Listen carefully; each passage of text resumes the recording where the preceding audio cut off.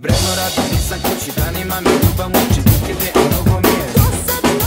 Kad sam bio na terenu, upoznao sam takvu ženu, pao sam na prvi pogled. Svi mi kažu da je predugo sama i da je da ti berem glava dana.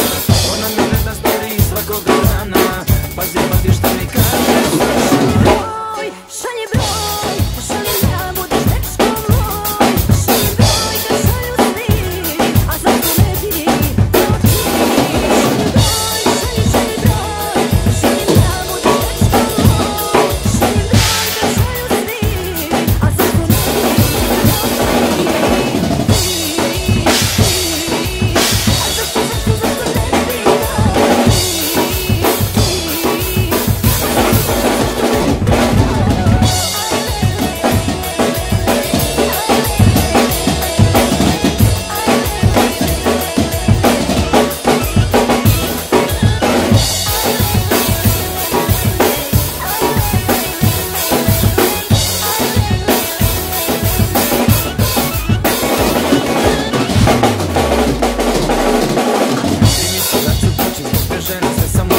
stuck in